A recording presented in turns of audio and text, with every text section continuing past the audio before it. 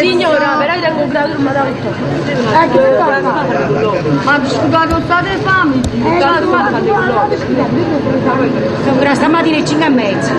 Alle 5 e mezza, l'avete aspettato qua fuori. C'era le 9 e mezza il giorno prima.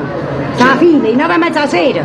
Per fuoco loco Un giorno prima vengono qua fuori per Venite fare- alle 9 e mezza, vedete che fine trovate. Ma quanto tempo devono stare quei mariti o quei figli? Un'ora, capo non so, C'è un'ora. un'ora e vengono un giorno prima qua, Napoli per Napoli. Napoli per Napoli.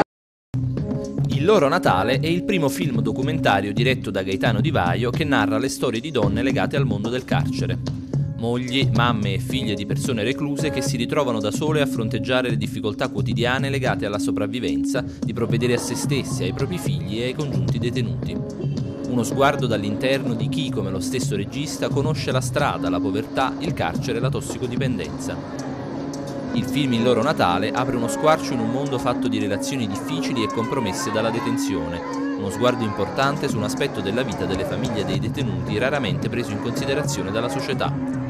Scopo di questa iniziativa è mettere al centro del dibattito pubblico partenopeo il tema della condizione carceraria, invitando le istituzioni locali ad investire nelle periferie per creare opportunità per giovani, come ad esempio il progetto per la creazione di un centro sperimentale di produzioni cinematografiche indipendenti nel quartiere di Scampia.